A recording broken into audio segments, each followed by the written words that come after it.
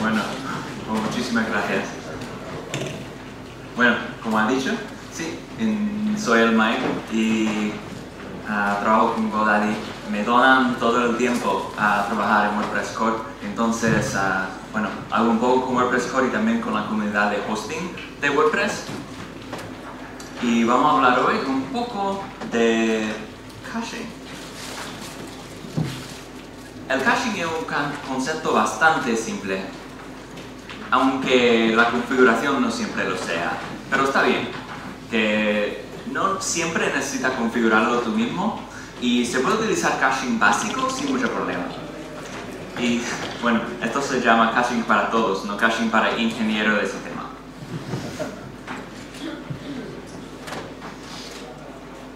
Estaba pensando en muchas cosas que cómo, cómo podía explicar ah, cómo funciona el caching, o lo que es el caching. Y he dejado, bueno, en esta. Caching es como hacer una tortilla de patatas. Bueno, bueno, muy poco, pero lo vamos a intentar. A ver, a ver cómo va, a ver cómo va. Se trata de guardar el resultado de algún trabajo para evitar hacerlo otra vez. Entonces, piensa, cuando haces una tortilla de patatas, si no lo haces, si lo haces un poco más grande, puede ser comida para dos gente o para tres personas o para el día próximo. Si lo haces por la noche, ya no tienes que hacer el trabajo otra vez por la mañana. Y así, ahora, ah, así ahorras un, un poco de tiempo y tienes lo que iba a ser una tortilla segunda un poco más rápidamente. Así. O bueno, en práctico, es un poco más como esto. Porque en realidad lo, guardamos ah, el, el trabajo solo una vez y lo utilizamos muchas veces como tortilla infinita. También otra manera de caching es guardar el resultado de un trabajo para recuperarlo, poder recuperarlo un poco más rápidamente. Es un poco como si compras más patatas y lo guardas ah, allí dentro del, dentro del cubierto, dentro del frigo, para hacer más tortilla después. Y así no tienes que ir al supermercado cada vez. Solo va a ser por allí, tiene más patata. Y así puedes ah, hacer la tortilla más rápidamente. Así. Compra un, un saco de patata entera. Bueno, una cosa que recordar con cualquier tipo de caching es que solo lo quieres mantener eh, la copia ah, mientras ah, son los datos válidos. Lo que digo es no, no deje que va mal la tortilla. Solo, solo lo- deja allí hasta que, hasta que ah, es, es válido y utilizarlo y luego ah, lo puede quitar del sistema de caching. Ah, los tipos de caching varios normalmente tienen algún método para, y configuración para especificar cuánto tiempo queda guardado y también en qué casos quitar esos datos de memoria.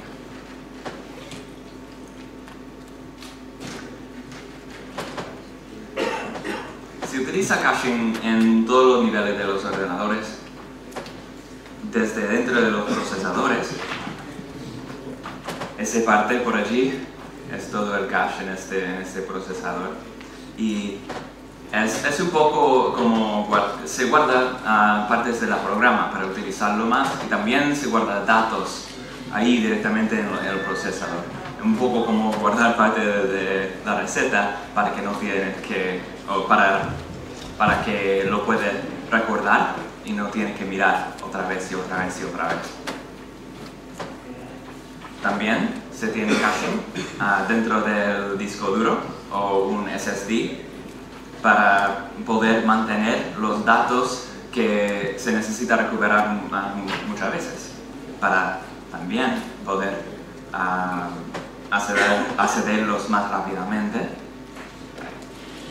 Desde allí también hay caches del disco duro y del SSD, pero dentro del sistema operativo, que se guarda parte de, los programas dentro ah, del RAM, de la memoria del sistema, para que no tiene que ir al disco duro.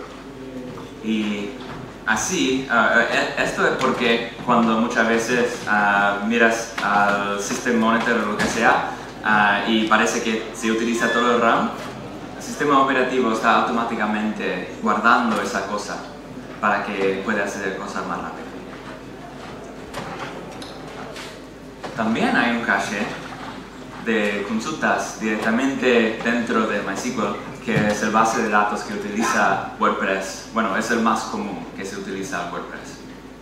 Y muchas veces cuando habla la gente de un cache de consultas, en, cuando bueno, cuando hablan de WordPress, están hablando de un cache que está dentro del PHP o dentro de WordPress, pero también hay un cache que está dentro de MySQL, que ya tiene ah, varios datos de, la consulta y también cómo hacer las consultas para que no lo tiene que hacer otra vez. Y dentro de WordPress, vamos a hablar un poco de de unos tipos de caching comunes que se utiliza dentro de WordPress. Ah, WordPress también tiene soporte ah, nativo para ambos y vamos a hablar un poco de, ellos. Pero empezamos con el cache de Opcode, porque ah, recuerda cómo hablamos un poco del procesador, del cache de procesador antes. Esto es muy similar. cuando corre WordPress, que el idioma en que está basado uh, mucho de, bueno, casi todo de, WordPress. Uh, el PHP puede compilar y guardar partes de ese programa directamente dentro del PHP en memoria. Uh, y así no se tiene que correr y compilar otra vez o cada vez el WordPress Cache de Opcode que es más común ah, ahora mismo es el de Opcache porque ah, desde PHP 5.5 está se distribuye ah, directamente con PHP, así que hay una solución oficial. El cache de Opcode puede hacer a su sitio hasta 25% más rápido, dependiendo de la configuración. Y entonces se merece la pena preguntar a su empresa de hosting a ver si lo soporta o no, o si lo tienes que configurar tú mismo. Ah, es aún más importante si utiliza servicio share o compartido, porque muchas veces esos, esos servidores tienen ah, procesadores que no, están, bueno, que no son tan rápidos, y entonces se ahorra más tiempo no, hacer, no utilizar el procesador, que es muy lento. Entonces, Uh, pregúntale, a ver, a ver si lo puedo poner. El próximo es el cache de objetos, pero ¿qué es un objeto? Bueno, esto es, uh, esa es una, un sistema de caching que está dentro de WordPress uh, mismo y que soporta, que soporta WordPress propio y puede guardar cosas como el contenido de posts páginas o autores o detalles de, custom post types de, WooCommerce o cosas así para que ya lo tiene en memoria por si lo necesita hacer otra vez ah, durante la solicitud de la página lo puede hacer directamente sin contactar a MySQL. Entonces no tiene que contactar a MySQL otra vez y otra vez ah, para eso. ah, por defecto solo guarda en memoria durante una solicitud de, la página. Y entonces no se puede utilizar, bueno, si un usuario va a tu página principal y luego a, otro, a otra página, tiene que ir a base de datos otra vez ah, y, no se queda en memoria, no, no es persistente. Pero WordPress también tiene soporte para caches persistentes. Si instalas algún plugin de, de caching persistente para, por ejemplo, el Memcached o el Redis, que son los más populares. Hay, más, pero son los más populares. Y así se puede guardar todos esos datos para, para más que una página. Y sirve, sirve mucho esto para, para sitios de e-commerce como WooCommerce, lo, lo hacen muchísimo más rápido. Normalmente cuando, oh, cuando habla la gente sobre un, un de, de, WordPress, hablan de un caché de páginas frontend.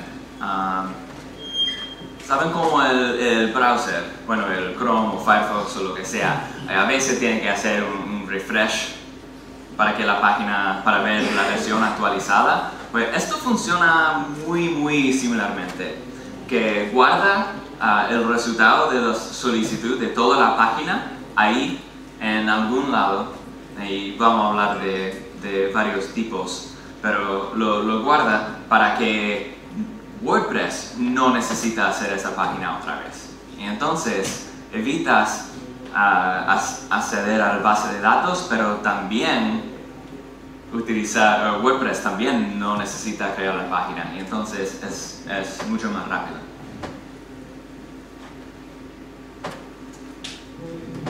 El que es, que es más sencillo es utilizar un cache que va desde ficheros y es un tipo de cache que se guarda bueno, directamente en el disco duro o en el SSD o lo que, lo que tengas.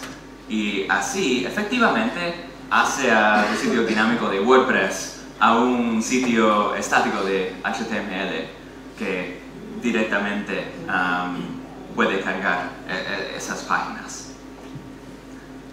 El que se utiliza más, eh, el plugin que se utiliza más es el WP Supercache y puede bajar el tiempo de solicitud en, un, en un servidor compartido de, bueno, casi unos segundos a veces, a menos de 100 milisegundos o 50 milisegundos, dependiendo. Y entonces ayuda mucho. Si, si, lo configuras, hay, hay, muchas opciones, funciona bien sin cambiar nada, pero lo que recomiendo es utilizar el modo avanzado o que, que dice Mode Rewrite. Y lo que significa eso es que por defecto WP Supercache todavía necesita cargar el PHP para mandar la página estática, pero si le pones el mode rewrite, entonces no necesita hacer eso y y puede acceder las páginas directamente al servidor de web, Apache o Nginx o, lo que sea directamente así. Otro tipo de uh, caché de, bueno, de frontend, de páginas, es un caché de proxy. Y lo que significa eso es otro servidor, otro programa que va encima de su servidor web bueno, si sea Apache o Apache o Nginx o lo que sea, que tiene ese cache de, de frontend. Y entonces, bueno, una más, un cache más. Normalmente se utiliza o el Varnish o el Nginx uh, para un cache de frontend, pero hay, hay más tipos. Y se utilizan mucho de los CDNs, algo así también. Hay, a veces también se utiliza el Nginx solo para ah, tener ese caché de páginas y también para servir como, como servidor y eso, eso va bien también. Uh, Nginx también uh, tiene soporte para o poner los, uh, las páginas en el disco duro o en memoria. pero Varnish siempre, está, siempre pone todas las páginas directamente desde la memoria. Y así se puede hacer aún más rápido hasta como he visto a páginas que se sirven como bueno, 15 milisegundos o 10 milisegundos o algo así, en vez de, en vez de hasta segundos. ¿Y el hosting? ¿Qué tiene que hacer? Bueno, el hosting decide la velocidad base de su sitio, porque bueno, diferentes empresas de hosting web uh, tienen soporte y configuración que son distintos y ofrecen diferentes, uh, diferentes programas. Uh, pero casi siempre los tipos de caching que son un poco más avanzados como el Memcache o como el, el Varnish está configurado por su proveedor de hosting y entonces es muy bueno preguntarles si soportan caching y qué tipos de caching soportan. Uh, el opcode, que es uh, lo de la receta o la programa, el objeto, que son, bueno, los datos, y el frontend, que son los páginas, las páginas enteras. Uh, y si tiene problema con la velocidad de su sitio, bueno, pregúntanles. A ver si necesita otro plan. Muchas veces o solo unos planes de, los proveedores de hosting tienen diferentes tipos, pero también a veces solo tienes que preguntarlo y lo puede poner. Y entonces se merece la pena. Uh, y recuerda, siempre haz la tortilla más grande. bueno, pues muchas.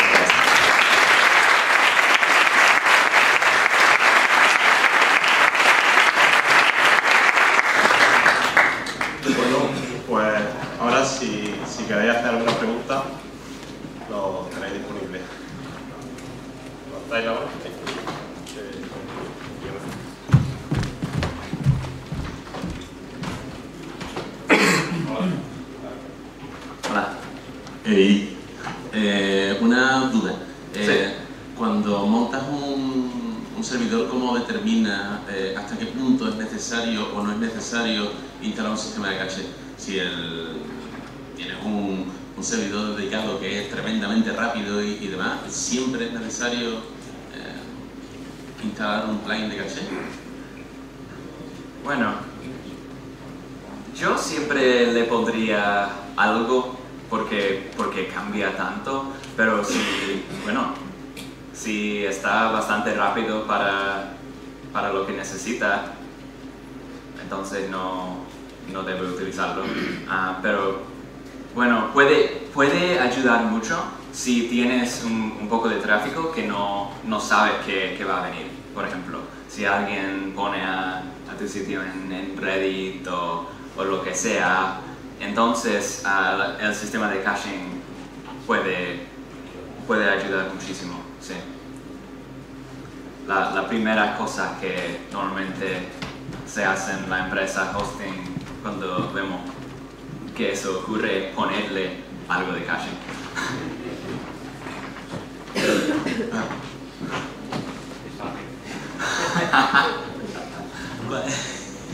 ¿Qué tal? Cuando, bien. Eh, cuando activas el, el, define del WP caché en a true, en, en el WP config, exactamente qué activa. La verdad es que no, eh, eh, que no recuerdo exactamente si, si, hace mucho sin tener un plugin. Creo que cuando hace eso automáticamente carga o intenta cargar a el dropping de, de caching, si, si recuerdo bien. le, pone un advanced cache.php el, el Dolby Supercache y, y bueno, otros plugins y sí, no recuerdo exactamente, ¿Tú, sabes? No, no, no. no. Ah, vale, vale. Pero sí, sí, creo que, creo que, creo que pone automáticamente eso, pero no, no creo. En principio, No lo que recuerdo sí, sí que tengo claro que cuando la Sí. activas, activa la caché una Sí. hora. O sea, lo- de lo que activa, sé que activaba la caché una hora. eh, y en principio es lo que dices tú del, del que crea el fichero de la pants caché y tal.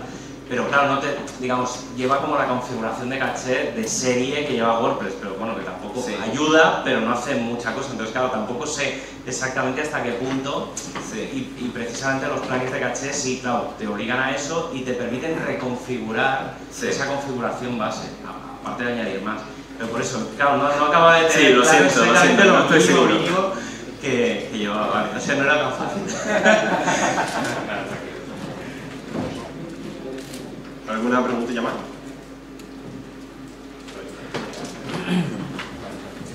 Eh, gracias por la charla. Eh, los transients los, em, es un tipo Sí. de caché, ¿no? Sí. Em, ¿Cómo comparan em, como desarrollador? ¿Es mejor o si eh, tirarías primero por una optimización de caché con ficheros o con transients? Es decir, eh, guardando las peticiones de algún tipo por em, flat file sí, eh, en el- o, o te vas a o, lo guarda mejor en, en ese tipo y cómo, cómo em, funciona WordPress accediendo a un flat file a un file eh, caché o a un transient es decir cómo, cómo se Bueno, ah, sirven para cosas distintas. Que no creo que yo no creo que creo que los dos sirven bien. Lo que va especialmente en un servidor que tiene que tiene problemas o que que, va muy lento, creo que va a ser más un caché de frontend de, páginas que, cambiar, ah, que poner más cosas en, en transients. Ah, pero lo que haría Ah, en, los dos. ambos, ¿no? ¿Alguna más?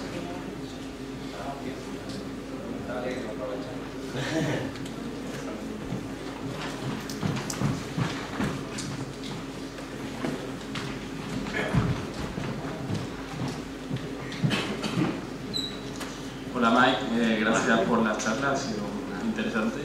Y mi pregunta no va, o sea, no es directamente relacionada con caché en sí, pero también afecta al rendimiento. Eh, va relacionada con el, la minimificación combinación de ficheros. Eh, ¿Qué eh, herramienta o plugin o técnica recomiendas para bueno, reducir la sobrecarga de ficheros de cuando tienes muchos plugins instalados? Bueno, no, no tengo uno que, que me gusta más que, que otro. Eh, en, en un trabajo anterior eh, hicimos pruebas de, de ponerlo o no ponerlo y a veces fue más rápido sin hacerlo y a veces fue más rápido con hacerlo y entonces, bueno, no...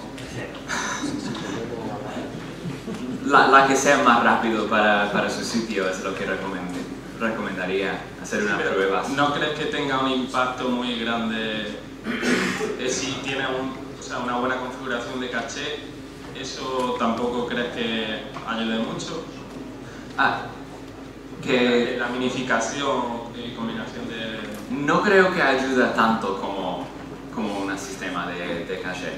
Y también si utilizas un sistema de, bueno, como el Varnish o como Nginx o lo que sea, ah, le puedes poner esos ficheros estáticos dentro de memoria. Y así, ah, bueno, no necesitas acceder al disco duro ni, ni nada para, para servirlos. Pero sí. Gracias. Nada. ¿Alguna preguntilla más? ¿No hay más preguntas? Pues muchas gracias, Mike. Muchísimas gracias.